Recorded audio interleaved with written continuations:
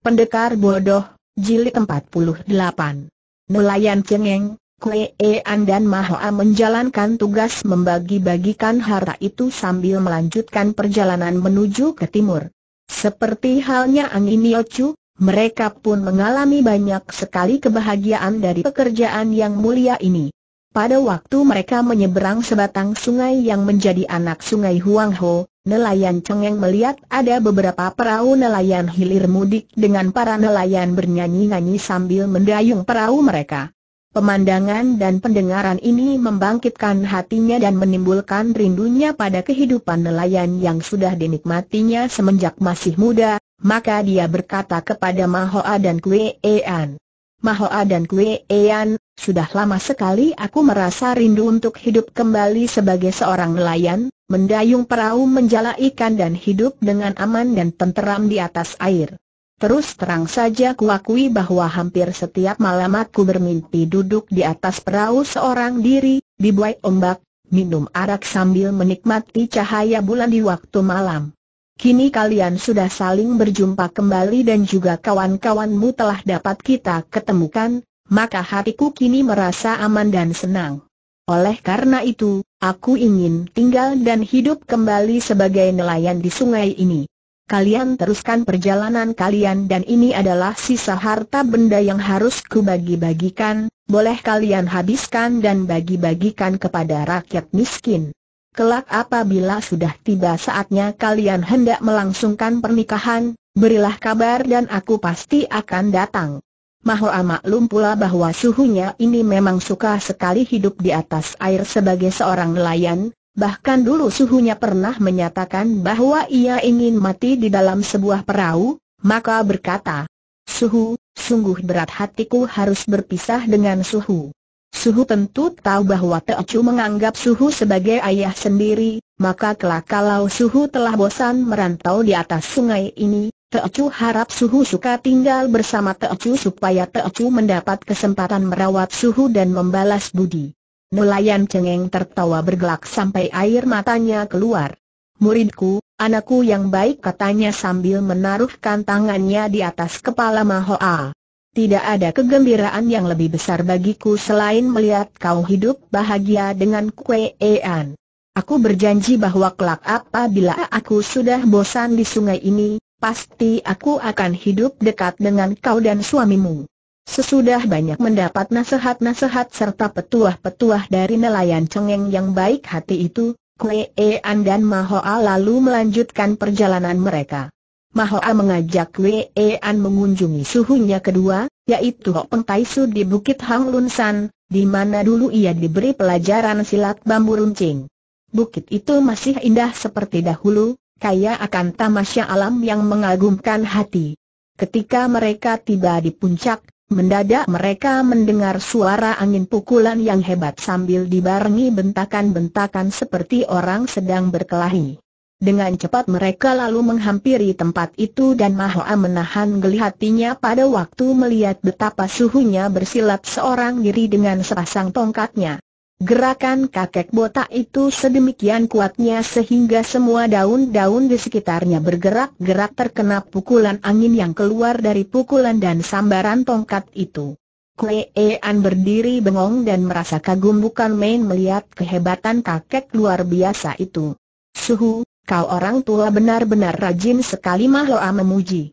Hok Pengtaisu segera menghentikan latihannya dan berpaling kepada mereka sambil tersenyum. Mahwa kemudian menjatuhkan diri berlutut, diikuti oleh Kwe An yang juga berlutut. Bagus, bagus, bagus sekali kalian datang ke sini. Di mana nelayan cengeng? Dia rindu kepada perahu dan sungai, suhu, maka dia tidak melanjutkan perjalanan dan hendak hidup beberapa lama di atas sungai Liang Ho, jawab Mahoa. Hok Peng Su menarik napas panjang. Nelayan cengeng memang orang beruntung. Tidak seperti aku yang sudah tua masih menimbulkan perkara dan mencari permusuhan. Tahukah kau bahwa aku akan mengadakan pertandingan di puncak Hoasan pada bulan tiga? Oleh karena itu aku harus melatih diri dan melepaskan urat-urat yang sudah kaku. Di waktu mudanya kakek botak ini memang gemar sekali mengadu kepandaian dengan orang-orang pandai, maka kini agaknya kegemaran itu timbul kembali dalam menghadapi tantangan Hai Kong Ho Siang. Kemudian dia segera menceritakan mengenai tantangan itu kepada Mahoa dan Kwe Ean. Bu Pun Su adalah seorang tokoh besar, maka tentu saja dia pun akan menyambut tantangan ini. Aku kenal padanya sebagai seorang yang sabar, akan tetapi menghadapi sebuah tantangan yang keluar dari mulut Hosio jahat itu, tentu dia akan turun gunung. Oleh karena itu, hendaknya kalian datang kepadanya dan ceritakanlah tentang tantangan itu kepada Bu Pun Su, sekalian sampaikan salamku kepadanya. Katakan bahwa selatan dan timur tak seharusnya kalah terhadap barat dan utara dengan ucapan ini, Hok Peng Tai Su hendak menyatakan bahwa dia dan Bu Pun Su takkan kalah menghadapi Pok Pok Sian Jin dan SWI Kiat Sian Su, tokoh-tokoh besar dari barat dan utara itu. Mahoa dan Kwe An kemudian turun dari Bukit Hang Lun San dan karena mereka telah mendengar dari Chin Hai di mana letak Goa Tengkorak itu, maka mereka langsung menuju ke sana. Ketika mereka sampai di depan Goa Tengkorak, mereka melihat Lin Lin sedang duduk dengan bengong bagai orang melamun dengan muka nampak sedih. Melihat kedatangan mereka, gadis ini tidak merasa girang, bahkan lalu memeluk kakaknya menangis sedih. Kue An yang sudah lama sekali tidak bertemu dengan adiknya yang terkasih itu, cepat mengusap-usap rambut Lin Lin dan bertanya, adikku sayang, mengapa kau bersedih? Di manakah Chin Hai dan di mana pula suhumu? Sesudah tangisnya mereda, Lin Lin lalu berkata, mereka berada di dalam. Suhu sedang menderita sakit keras. Haiko dan Enci Im Giok yang menjaganya. Aku, Aku tak dapat menahan kegelisahan dan kesedihanku maka aku lalu keluar, karena di depan suhu aku tidak berani memperlihatkan kesedihanku. Bukan main kagetnya hati Mahoa dan Kwe An mendengar penjelasan ini. Segera Mahoa bertanya, Suhumu adalah seorang yang sakti, mengapa ia bisa menderita sakit? Dan bilakah angin Yocu tiba di sini? Kemudian, dengan suara perlahan supaya suara mereka jangan sampai terdengar dari dalam dan mengganggu Bu Pun Su, Lin Lin lalu menceritakan bahwa setelah ia dan Chin Hai, juga bersama Li Kong Xian, tiba di tempat itu, mereka mendapatkan Bu Pun Su sudah berbaring tak sadarkan diri di dalam goa, dijaga oleh tiga ekor burung sakti yang diam tak bergerak seperti sedang merasa bingung dan berduka pula. Li Kong Xian yang paham akan ilmu pengobatan, lalu memeriksa nadi kakek jembel itu dan menyatakan bahwa Bu Pun Sum menderita kelemahan karena usia tua, dan agaknya kesedihan hati membuat jantungnya terserang hebat, juga penderitaan batin membuat kakek itu tidak kuat menahan dan jatuh pingsan. Pemuda itu lalu mengatakan kepada Chin Hai dan Lin Lin agar supaya menjaga Bu Pun Su dan membantu kesempurnaan jalan darahnya dengan tenaga lekang, sedangkan ia sendiri hendak pergi ke pulaunya untuk mencari semacam rumput darah yang mungkin akan menyembuhkan Bu Pun Su. Semenjak masuk Goa Tengkorak, Chin Hai lalu memegang tangan kanan suhunya dan mengerahkan tenaganya membantu aliran hawa ke dalam tubuh suhu itu.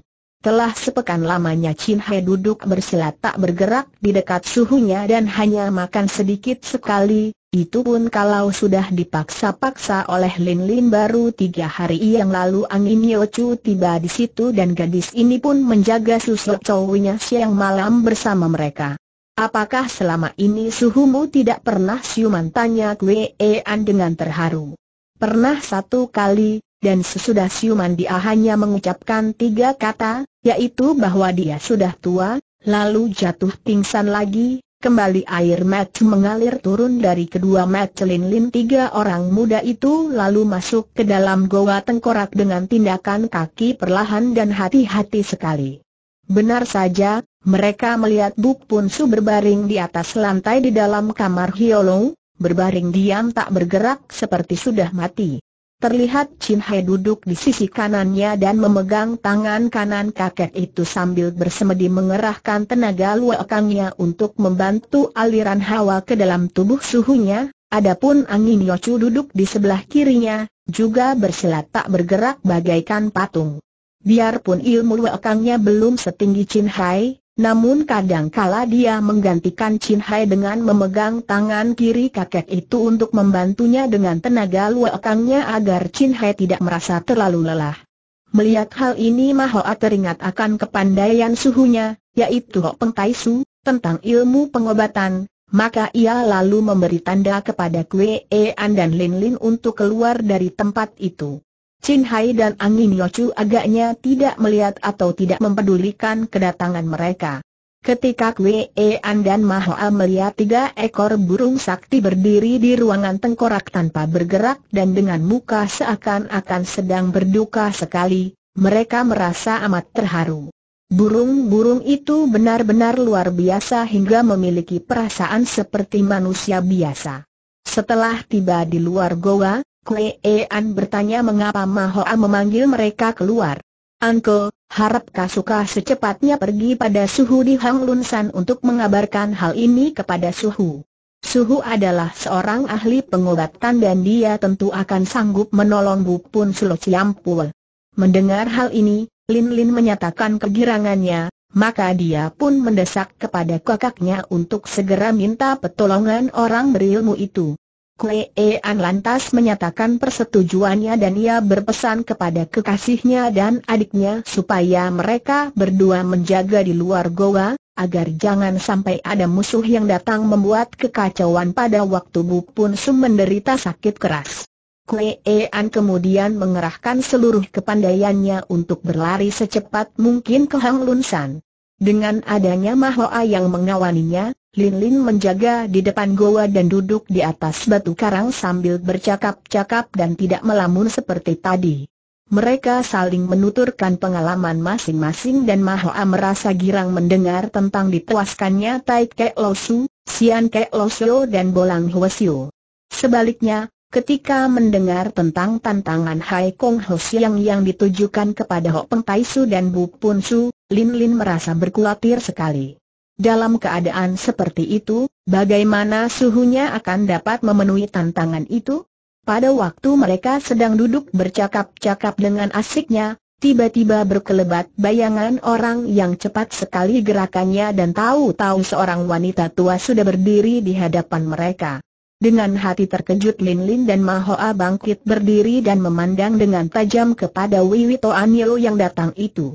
Melihat nenek ini, Lin Lin menjadi marah sekali karena teringat betapa bekas kekasih Bu Pun Su ini sudah menjalankan kecurangan untuk mencelakai suhunya itu. Maka sambil mencabut Han Lekiam dari pinggangnya, ia membentak. Mau apa kau datang ke sini? Wiwi Toanio memandang dengan mata mengejek lalu jawabnya, aku tidak mempunyai urusan dengan kalian anak-anak kecil. Minggirlah, dan biarkan aku bertemu dengan Lu Kuan Chu. Tidak. Tak seorang pun boleh masuk ke dalam gua ini mengganggu suhu. Pergilah kau sebelum pedangku bicara. Anak kecil kurang ajar. Kau berani menghina dan mengusir Kui Wito Anio menjadi marah sekali. Mahoa juga sudah mencabut sepasang bambu runcingnya dan berkata, Nenek jahat, kau pergilah dengan baik-baik dan jangan mencari mati. Makin marahlah Wiwito Anyo mendengar ini. Dengan seruan keras dia melompat dan menerjang ke arah Lin Lin dan Mahoa dengan limu silat cakar Garuda yang liai dan berbahaya itu. Akan tetapi Lin Lin dan Mahoa sudah siap dan menghadapinya dengan mengirim serangan-serangan mematikan. Ternyata Wiwito Anio memang lihai sekali. Ilmu kepandaiannya lebih tinggi daripada kepandaian Hai Kong Ho Siang, maka biarpun Lin Lin dan Mahoa mengeroyok dua dan mainkan senjata mereka dengan care hebat, namun nenek itu tidak menjadi gentar dan membalas dengan cengkeraman-cengkeraman yang dahsyat. Sambil bertempur Wiwito Anio mengeluarkan pekik-pekik menyeramkan dan tubuhnya menyambar-nyambar bagai seekor burung Garuda. Ginkangnya ternyata telah mencapai tingkat tinggi sekali hingga tubuhnya itu melayang-layang seolah-olah dia dapat terbang saja. Namun Lin Lin dan Mahoa yang berlaku hati-hati tidak mau kalah dan bekerja sama dengan mati-matian untuk merobohkan pengacau ini. Pada saat pertempuran terjadi, Chin Hai sedang membantu suhunya dengan mengalirkan hawa melalui telapak tangan, sedangkan Ang ini lecu hanya bersila sambil bersemedi untuk mengumpulkan tenaga yang sudah banyak dikerahkan membantu susuk cownya itu. Kini dia mendengar suara-suara orang berkelahi di luar, maka taulah dia bahwa Lin Lin dan Mahoa sedang menghadapi lawan tangguh.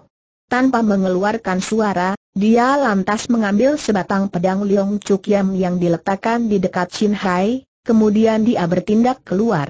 Pada saat itu, sambil memekik keras Wiwi Toanyo melompat ke atas dengan kedua tangannya terulur ke depan dan bermaksud merampas senjata kedua lawannya. Akan tetapi, tiba-tiba berkelebat bayangan merah dan dua batang pedang yang bercahaya berkilauan langsung menyambutnya dengan serangan hebat. Wiwito Anilo sedang melayang bagaikan seekor burung Garuda yang ganas, sedangkan Ang Iniochu pun melayang menyambutnya dengan pedang Leong Chu Kiam, bagai seekor burung hang yang indah dan gesit. Wiwito Anilo terkejut melihat serangan ini, maka dia lalu berseru keras dan tahu-tahu tubuhnya telah terputar dan berjungkir balik beberapa kali ke belakang. Melihat Ang Inyochu datang membantu, Lin Lin dan Mahoa menjadi gembira dan mereka lalu mainkan senjata mereka dengan seru dan hebat mendesak Wiwito Anilo yang kini merasa sibuk juga menghadapi tiga orang gadis jelita yang mengamuk bagaikan tiga ekor naga betina itu. Ang ini Chu memang lihai dan dengan sepasang pedang Leong Chu Siang Kiam di kedua tangan, dia merupakan seekor harimau yang tumbuh sayap. Juga Lin Lin dengan Hon Le Kiam Hoatnya merupakan lawan yang amat berbahaya karena ilmu pedangnya ini boleh dianggap menduduki tingkat tinggi sekali di antara segala macam ilmu pedang, adapun Mahoa dengan ilmu silat bambu runcingnya juga merupakan lawan yang tidak mudah dilawan. Tentu saja setelah ketiga orang darah ini maju mengeroyok, biarpun ilmu kepandaian Wiwito Anyo tinggi dan pengalamannya banyak, namun tetap saja dia merasa kewalahan sehingga sebentar saja dia terdesak mundur dan jiwanya berada dalam bahaya.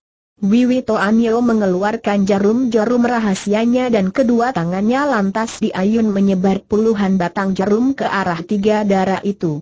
Akan tetapi Mahoa memutar-mutar sepasang bambu rucingnya dan angin Yocu juga memutar sepasang pedangnya, hingga semua jarum kena terpukul runtuh.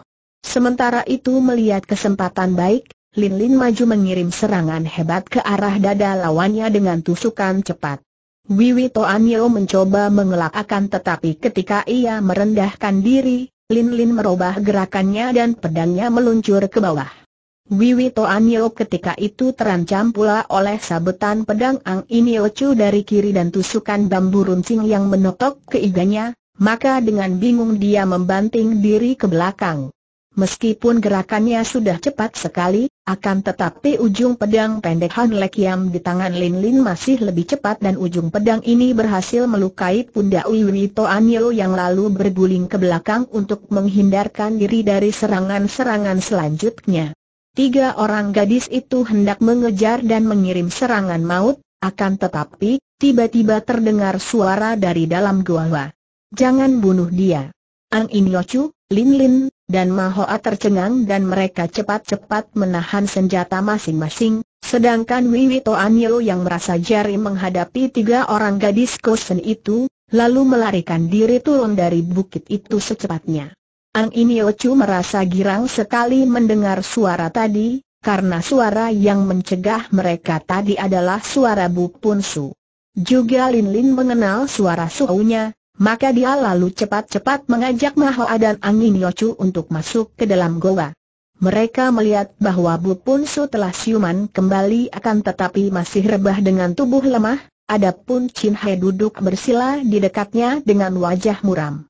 Bu Pun Su memang hebat sekali, karena biarpun dia berada dalam keadaan sedemikian rupa, namun pendengarannya masih sangat tajam sehingga dia dapat mendengar pertempuran yang terjadi di luar dan seruan-seruan Wiwito Anyo itu dikenalnya baik-baik, maka dia lalu mengerahkan hikangnya dan mencegah ketiga orang gadis itu membunuh Wiwito Anyo. Tanpa menyaksikan dengan mata sendiri, dari pendengaran dan dugaan saja dia maklum bahwa Wiwito Anyo tak akan dapat menang menghadapi tiga darah yang gagah perkasa itu. Ang Inyochu, Lin Lin, dan Mahoa lalu menjatuhkan diri berlutut dan memberi hormat. Bu Punsu tersenyum dengan lemah dan bibirnya bergerak, mengeluarkan bisikan perlahan. Kalian lihat, betapapun tinggi kepandaian orang, ia harus tunduk terhadap usia tua. Kemudian Bu Pun Su memandang kepada Mahoa dan berkata, Nona Mahoa, kau datang ke sini tentu mempunyai maksud tertentu. Katakanlah. Mahoa tadinya segan untuk menceritakan mengenai pesanan suhunya, dan tadinya dia berniat untuk menahan saja pesanan itu karena Bu Pun Su sedang sakit. Tidak taunya kakek ini bermata awas hingga tahu bahwa kedatangannya mempunyai maksud tertentu, maka sambil berlutut dia lalu berkata, Maafkan Teocu, Lo Chiampue. Sebetulnya Teocu tidak berani mengganggu Lo Chiampue yang sedang menderita sakit. Terdengar suara tertawa Bu Pun Su yang seperti biasa, gembira dan terlepas, hanya kali ini suara ketawanya tidak sekeras dahulu. Anak yang baik, tubuhku memang sakit, akan tetapi semangatku masih seperti biasa. Ceritakanlah. Sebetulnya Teocu sudah diperintahkan oleh Suhu Hok Peng Tais untuk menyampaikan tantangan Hai Kong Ho Siang yang ditujukan kepada Suhu dan Lo Chiam Pue. Hem, Hai Kong menantang aku dan Hok Peng? Benar, Lo Chiam Pue. Hwasio itu menantang untuk mengadu kepandaian pada bulan tiga di puncak Hoasan, dan mereka hendak mengajukan Pok Pok Sian Jain dan SWI Kiat sebagai jago untuk menghadapi Lo Chiam Pue dan Suhu. Suhu berpesan agar Teocu menyampaikan kepada Lo Chiam Pue bahwa selatan dan timur tidak seharusnya kalah terhadap barat dan utara. Bu Pun Su tertawa lagi, akan tetapi suara ketawanya makin lemah. Hok Peng ternyata lebih muda semangatnya daripada aku. Alangkah senangnya kalau bersama Hok Peng aku dapat menghadapi Pok Pok dan SWI Kiat akan tetapi dia lalu menarik napas panjang dan berbisik. Tak mungkin, bulan tiga masih lama, aku tak akan dapat bertahan selama itu. Mendengar ucapan ini, tak dapat dicegah lagi Lin Lin lalu menangis terisak-isak. Eh haha, ah, Lin Lin muridku yang nakal. Mengapa kau menangis? Suhumu sebentar lagi terbebas daripada kesengsaraan, kenapa kau malah menangis? Seharusnya kau malah bersyukur dan bergembira. Akan tetapi, mendengar ini, Lin Lin makin hebat tangisnya, bahkan kini Ang Ini Lecu dan Mahoa juga ikut menangis. Bu Pun Su menarik napas panjang. Hektometer HMM, perempuan, Perempuan, kalau tidak menangis, kau bukan perempuan lagi namanya.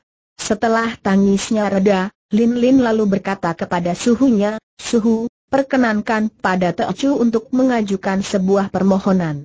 Nah, nah, sesudah menangis lalu mengajukan permohonan, cocok sekali ucapan orang zaman dahulu bahwa di balik air mata wanita itu tersembunyi maksud-maksud tertentu. Teocu ingin mohon perkenan dari suhu untuk mengizinkan Enci Im Giok melangsungkan perjodohannya dengan Li Kong Sian Su Heng. Mendengar ucapan Lin Lin ini, Ang Ini Lecu cepat-cepat menundukkan kepalanya hendak menyembunyikan mukanya yang menjadi kemerah-merahan. Bu Pun Su menjawab dan suaranya makin melemah seperti bisikan. Aku tahu, semenjak mereka datang aku sudah tahu. Im Giok dan Kong Sian memang cocok, aku setuju, Tiba-tiba ia mengeluh panjang dan kembali Bu Pun Su jatuh pingsan, tak sadarkan diri seperti orang tidur pulas. Chin Hai cepat menyambar nadi tangan suhunya dan berbisik, suhu telah terlalu banyak menggunakan tenaga untuk bercakap-cakap. Tiba-tiba saja masuk seorang laki-laki ke dalam goa tengkorak dan ketika semua orang memandang, ternyata yang datang ini adalah Li Kong Xian. Pemuda ini dengan cepat sekali lalu menghancurkan daun darah yang dia ambil dari pulaunya, memeras daun itu dan meminumkannya ke dalam mulut Bu Pun Su. Setelah itu, pemuda ini lalu duduk di sebelah Bu Pun Su untuk menggantikan Chin Hai membantu peredaran hawa dalam tubuh supeknya. Tak lama kemudian, bagaikan api lilin yang hampir padam kini bernyala kembali, Bu Pun Su menggerakkan tubuhnya dan membuka matanya. Ternyata hasiak daun darah sudah bekerja dan dia merasa tubuhnya enak sekali. Kakek sakti itu lalu bangun dan duduk. Im Giok, kuulangi kata-kataku tadi. Kau memang berjodoh dengan Kong Xian dan aku merasa girang sekali bahwa kau mendapatkan jodoh dengan murid Han Lai sendiri. Ang ini Ocu dan Li Kong Xian menundukkan kepala dan tidak berani bergerak karena jengahnya. Kemudian Bu Pun Su berkata sambil menuding keluar goa. Ada orang datang. semua orang memandang karena mereka tak mendengar sesuatu, kecuali Chin Hai yang dapat mendengar tindakan kaki yang halus sekali. Dan benar saja, tidak lama kemudian, masuklah Kwe An bersama Hok Peng Tai Su yang datang-datang tertawa bergelak lalu menghampiri Buk Pun Su. Buk Pun Su juga tertawa girang. Hok Peng, apa kau datang hendak memeriksa tubuhku yang sudah bobrok ini? Buk Pun Su, benar-benarkah kau hendak mendahului aku? Kau hanya lebih tua beberapa tahun saja dariku, dan menurut patut, kau harus lebih kuat menolak cengkeraman maut. Setelah berkata demikian, Hok Peng Tai Su segera duduk di dekat Buk Pun Su kemudian mengulurkan tangan untuk memeriksa nadi dan detik jantung kakek jembel itu. Sesudah memeriksa sambil memejamkan mata beberapa lama, kakek jembel itu bertanya. Bagaimana, Hok Peng, masih berapa lama lagi kah? Kakek botak itu memandang wajah Buk Pun Su dengan tajam. Buk Pun Su, aku tidak ingin mengetahui urusan pribadimu, akan tetapi orang seperti kau ini tidak layak menerima luka di jantung akibat tekanan batin. Jantungmu terluka hebat sekali karena kau agaknya telah teringat akan hal-hal yang sudah lampau, yang membuat kau merasa malu, marah, dan berduka. Melihat keadaanmu, paling lama kau hanya akan dapat bertahan selama satu pekan saja. Bagus, kalau begitu masih ada waktu beberapa hari lagi, kata Bu Punsu. Sungguh sayang Bu Pun Su. Benar-benar sayang, karena sebenarnya aku ingin sekali mengajak kau menikmati adu kepandaian di puncak Hoasan dan bermain-main sebentar dengan Pok Pok Sian Jin dan SWI Kiat Sian Su sebelum kau pergi. Pergi seorang diri saja ke Hoasan kurang menggembirakan. Bu Pun Su tertawa, apa dayaku? Tadi aku pun sudah mendengar dari muridmu tentang tantangan itu, akan tetapi kepergianku tak dapat ditunda-tunda lagi. Mendengar bahwa usia Bu Pun Su tinggal sepekan lagi dan mendengar pula betapa dua orang kakek yang aneh itu membicarakan kematian Bu Pun Su sebagai orang yang hendak pergi melancong saja, Ang In Yochu, Lin Lin dan Mahoa tak dapat menahan keharuan hati lagi sehingga terdengarlah isak tangis mereka. Lin Lin bahkan menjatuhkan diri berlutut di depan kaki suhunya dan menangis sedih. Eh haha, eh haha, kembali kau memperlihatkan sikapmu yang nakal, Lin Lin kata Buk Pun Su. Kemudian, kakek jembel itu berkata kepada kakek botak. Hok Peng, jangan kau kecewa, karena betapapun juga, tantangan Hai Kong Ho yang itu harus kita hadapi. Memang aku tidak dapat datang sendiri, tetapi aku hendak mewakilkan kepada Chin Hai untuk menghadapi mereka. Suhu, Teocu masih terlalu lemah untuk menghadapi mereka, terutama Pok Pok Sian Jin dan SWI Kiat Sian Su yang sakti itu, kata Chin Hai. Jangan khawatir, mereka itu sudah tua bangka dan tubuh mereka sudah bobrok seperti aku. Kita masih mempunyai waktu sepekan dan selama itu, aku akan menurunkan semua sisa-sisa kepandaianku kepadamu. Pula, sesudah aku pergi, kau boleh minta bimbingan Hok Peng untuk memperdalam kepandaianmu sehingga tidak akan mengecewakan kelak apabila kau mewakili daerah selatan dan timur bersama Hok Peng. Bagus kata Hok Peng. Aku setuju sekali kalau anak muda ini mewakilimu, karena dia mempunyai bahan cukup baik. Nah, aku tidak akan mengganggu lebih jauh, Bupun Su. Pergunakanlah sisa waktu yang tak lama lagi itu dengan sebaiknya dan selamat berpisah sampai berjumpa kembali. Buk Pun mengangguk-angguk sambil tersenyum. Terima kasih, paling lama lima tahun lagi kita bertemu. Hok Peng tertawa bergelak-gelak. Mungkin sekali sebelum lima tahun aku sudah akan menyusulmu kemudian kakek ini berkelebat keluar dan lenyap dari pandangan mata. Bu Su menarik napas panjang. Li Kongsian, obatmu itu benar baik sekali karena sekarang aku merasa sehat kembali. Sekarang kalian dengarkan pesanku yang terakhir. Im Giok telah kuberi persetujuan menjadi jodoh Li Kongsian dan semoga kalian berdua hidup berbahagia. Pedang Leong Chuk Yam ku berikan kepada Chin Hai dan Im Giok, yang panjang untuk Chin Hai sedang yang pendek untuk Im Giok karena kalian berdualah yang telah mendapatkannya. Chin Hai, Ang Inio Chu dan Li Kong Xian menghaturkan terima kasih. Masih ada lagi, Bu Pun Su berkata, kelak, apabila kalian memperoleh keturunan, juga bagi Nona Mahoa, kuanjurkan supaya menuruti nasihat ini, kalian harus menggunduli putra-putramu. Semua orang memandang heran dan menganggap bahwa kakek itu sudah mulai bicara tidak karuan seperti biasanya orang-orang tua yang sudah mendekati saat kematiannya. Hal ini jangan kalian pandang rendah, kata Bu Punsu. Dan kau, Chin Hai, jangan kau anggap gurumu berkelakar dan menyindir kau yang ketika kecil bergundul kepala, karena sesungguhnya bagi seorang anak laki-laki lebih baik rambutnya digunduli ketika ia masih kecil agar hawa yang sehat dan sejuk tidak tertolak oleh rambut hingga membuat kepala anak itu menjadi segar dan baik perjalanan darahnya sehingga selain memperkuat, juga menambah kecerdikan anak itu.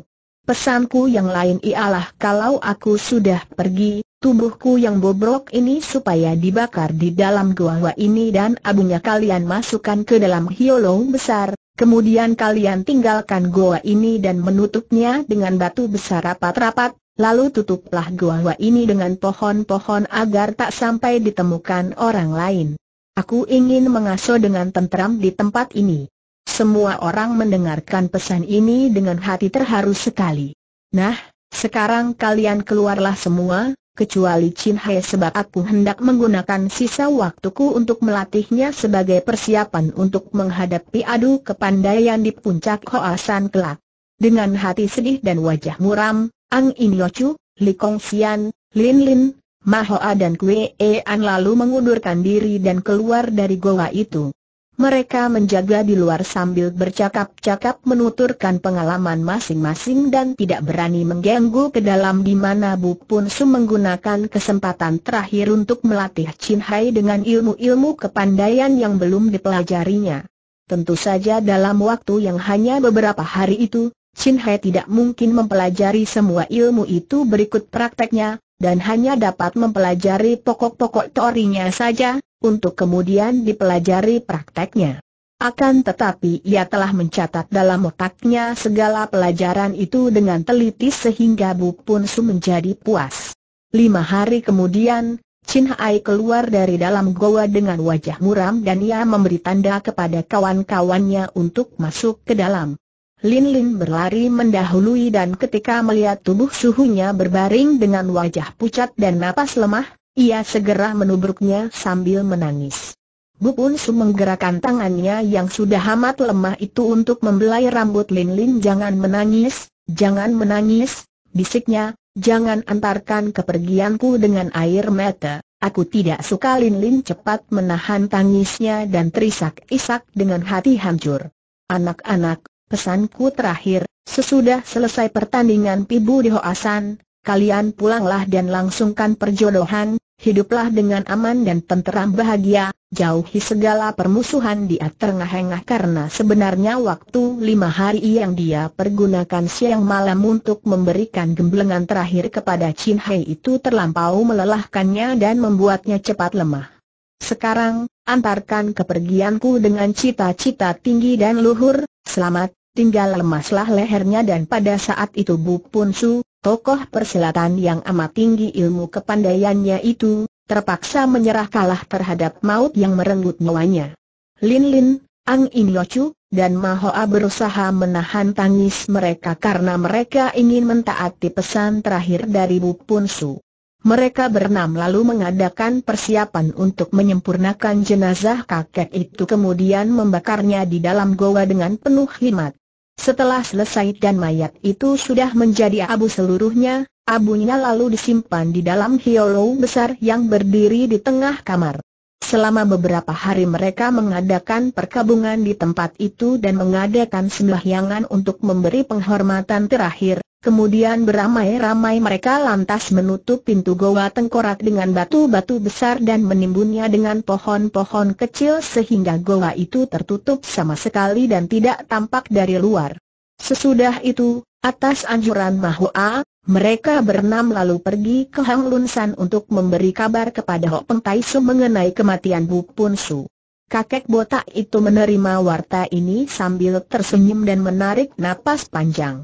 Ahaha, dia lebih beruntung daripada aku. Sekarang dia sudah enak-enak sedangkan aku masih harus menderita. Oleh karena waktu untuk menerima tantangan tinggal sebulan lebih lagi, maka Hok Peng Tai Su lalu melatih Chin Hai dengan berbagai kepandaian yang belum pernah dipelajari oleh anak muda itu sampai hampir 10 hari lamanya. Orang-orang muda yang lain merasa suka sekali tinggal di bukit yang indah itu dan mereka juga berlatih silat di bawah pengawasan Hok Peng Tai. Setelah menganggap bahwa ilmu kepandaian Chin Hai cukup kuat, Hok Peng Tai lalu mengajak mereka mulai melakukan perjalanan menuju ke puncak Hoasan. Untuk memperkuat rombongan mereka, Mahoa minta perkenan kepada Hok Peng Tais untuk singgah di tempat kediaman nelayan cengeng, yaitu di sungai Liong Ho. Ternyata kakek nelayan itu sedang enak-enakan di atas sebuah perahu kecil, bersenang-senang seorang diri mencari ikan sambil bernyanyi-nyanyi. Melihat kedatangan mereka, nelayan cengeng merasa girang bukan main, dan ia segera menyatakan keinginannya untuk ikut pergi ke Hoasan tentang kematian Bu Pun Su, ia menyambutnya dengan ucapan yang hampir sama dengan ucapan Hok Peng Su dulu, karena ia berkata, Aku harap akan dapat segera menyusulnya. Hok Peng Tai Su lalu menyerahkan pimpinan rombongan itu kepada nelayan cengeng karena dia hendak melakukan perjalanan dari lain jurusan untuk singgah di tempat tinggal beberapa orang kenalannya. Kalau sudah tiba di kaki Bukit Hoasan, kalian tunggulah kedatanganku, dan kalau aku yang datang lebih dahulu, aku pun akan menanti kalian, kata kakek botak itu yang lalu berkelebat pergi. Seperti juga Bu Pun Su, kakek aneh ini tidak suka melakukan perjalanan dengan orang lain, dan lebih suka berjalan seorang diri saja. Ternyata bahwa pihak Hai Kong House yang telah berkumpul di puncak Hoasan menanti kedatangan dua orang musuh besar, yaitu Bu Pun Su dan Hok Peng Tai Su. Wiwi sudah berhasil mengundang datang Pok Pok Sian Jin, supeknya yang tinggal di puncak kubisan daerah barat yang telah berpuluh tahun mengasingkan diri itu. Wiwi Toanio tak berani menceritakan tentang hal yang sebenarnya, maka dengan cerdik nenek itu hanya menceritakan bahwa dia hendak mengadakan pibu dengan Bu Pun Su dan Hok Peng Tai Su dan karena merasa tidak kuasa menghadapi, mereka minta bantuan supek ini. Sebenarnya Pok Pok Sian Jin tidak mau mempedulikan segala urusan dunia. Akan tetapi mendengar nama Bu Pun Su dan Hok Peng Tai Su sebagai dua orang tokoh tertinggi dari daerah selatan dan timur, maka tergeraklah hatinya hingga timbul kegembiraannya untuk mengukur kepandaian mereka. Apakah salahnya mengukur tenaga di dalam sebuah pibu yang adil dan dilakukan dalam suasana persahabatan? Oleh karena inilah maka Pok Pok Sian Jin menyanggupi dan tepat pada waktunya. Sementara itu, SWI Kiat Sian Su, Guru Tai Kek Lo Su, pada waktu dibujuk oleh Hai Kong Ho Siang yang menceritakan betapa kedua orang muridnya, yaitu Tai Kek Lo Su dan Sian Kek Lo Su, tewas dalam tangan Chin Hai, Lin Lin dan Li Kong Sian, tergerak pula hatinya ketika mendengar betapa pembunuh-pembunuh muridnya itu, dibelah pula oleh Bu Pun Su dan Hok Peng Tai Su. Kalau saja kedua tokoh besar itu tidak muncul untuk membela pembunuh-pembunuh dua muridnya, tentu ia tidak akan sudi turun gunung karena ia pun telah mendengar tentang kesesatan murid-muridnya itu. Akan tetapi dia tergerak untuk mencoba pula kepandaian Bu Pun Su dan Hok Peng Tai Su yang amat terkenal. Rombongan Hai Kong House yang terdiri dari 12 orang, yaitu Pok Pok Sian Jin, SWI Kiat Sian Su, Hai Kong Ho Siang, Wiwi To Anio, Siok Kuat Moli, Lokun Tojin, Kam Hang Sin, Cheng Tek Ho Siang, Cheng Tu Tosu, Giok In Chu, Giok Keng Chu, dan Giok Yang Chu. Selain 12 orang-orang yang lihai ini, masih terdapat ratusan perwira yang sengaja menjaga di sekitar tempat itu. Melihat keadaan rombongan yang berjumlah banyak ini, terutama melihat para perwira, Popok Sian Jin merasa heran dan bertanya kepada Wiwi Toanio, Wiwi, kenapa begini banyak orang berada di sini? Apakah kalian hendak mengadakan perang besar? Tidak, Supek. Mereka adalah kawan-kawan Teocu, dan perwira-perwira itu hanya untuk penjagaan kalau-kalau pihak lawan membawa pula bantuan besar untuk sengaja mencari permusuhan. Juga SWI Kiat Sian Su merasa heran melihat banyaknya orang menjaga di situ, maka dia berkata kepada Hai Kong Ho Siang, aku tidak menghendaki adanya pertempuran besar. Kalian boleh saja bertempur dan bermusuhan, akan tetapi jangan harap untuk melibatkan diriku dalam keadaan semacam itu. Hai Kong Ho yang segera menyatakan kesanggupannya untuk mencegah para perwira itu membuat kacau dan hanya minta agar supaya Pok Pok Sian Jin dan SWI Kiat Sian Su menghadapi Bu Pun Su dan Hok Peng Tai Su di dalam pibu yang hendak diadakan. Pok Pok Sian Jin dan SWI Kiat Sian Su merasa girang dapat saling bertemu dan mereka segera bermain catur di bawah sebatang pohon dan tidak mempedulikan lagi keadaan di sekitarnya. Pada saat dua orang kakek yang sudah amat tua itu asik bermain catur, maka datanglah rombongan Hok Peng Tai Su yang hanya terdiri dari delapan orang, yaitu Hok Peng Tai Su sendiri, Chin Hai, Lin Lin, Kue Ean, Mahoa, Ang In Yochu, Li Kong Sian dan nelayan Cengeng. Dengan sikap tenang dan gagah Hok Peng Tai Su berjalan memimpin semua kawannya naik bukit Hoasan dan sama sekali tidak gentar melihat para perwira yang berderet-deret menyambut kedatangan mereka itu. Pada saat Hai Kong Ho Siang dan yang lain-lainnya menyambut, Hok Peng Tai Su berlaku seakan-akan tidak melihat mereka, akan tetapi langsung menghampiri kedua orang kakek yang tengah bermain catur itu sambil tertawa dan berkata, kalau saja Buk Pun Su belum meninggalkan kita, kalian berdua tentu akan dipukul hancur dalam permainan catur ini. Sayang aku tidak pandai bermain catur. Popok Sian Jin dan SWI Kiat Sian Su yang sudah melihat kedatangannya, segera berdiri sambil tertawa. Hok Peng, kau nyata masih nampak sehat-sehat saja biarpun kepalamu sudah menjadi botak dan hampir habis semua rambutmu kata Pok Pok Sian Jin. Sedangkan SWI Kiat Sian Su berkata dengan kecewa. Kau bilang tadi bahwa Bu Pun Su sudah meninggalkan kita. Ah, sayang sekali. Dari tempat jauh, aku datang karena ingin merasakan pula kelihayannya, ternyata ia telah mendahuluiku pergi, sungguh sayang.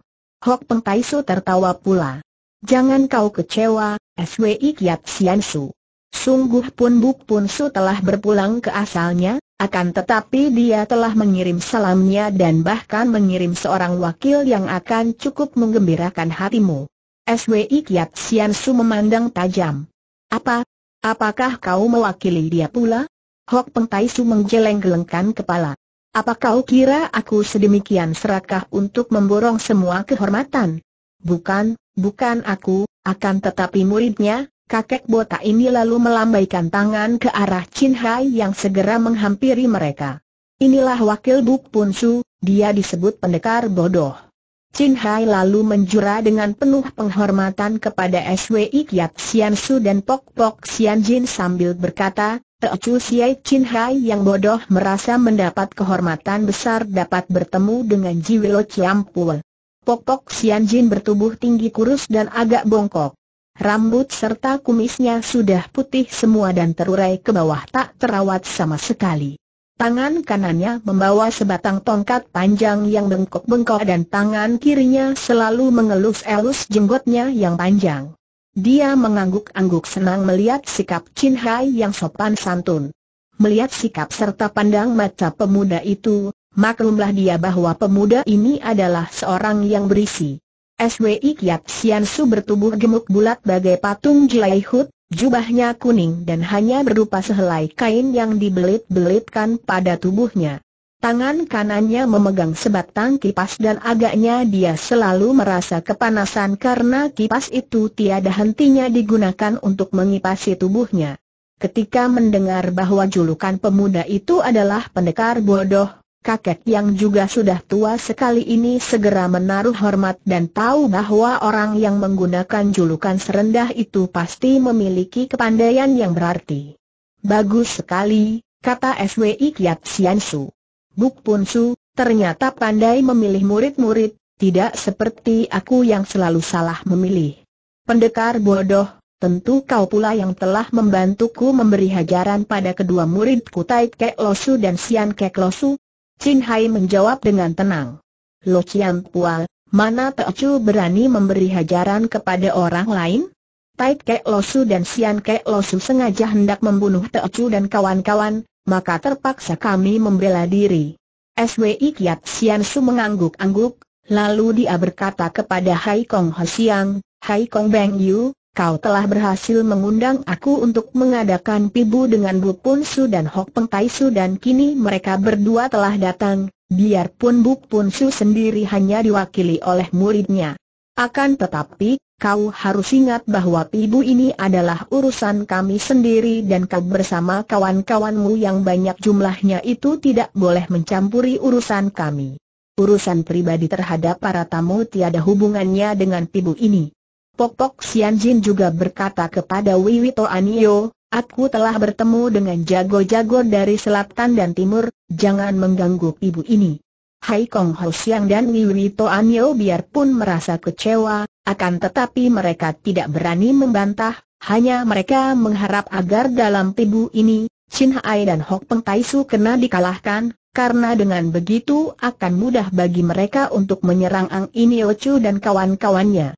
Mereka memang merasa gentar terhadap Hok Peng Tai Su dan Bu Pun Su dan biarpun mereka tahu akan kelihayan Chin Hai yang mewakili Bu Pun Su, namun mereka tidak begitu jeri terhadap Chin Hai.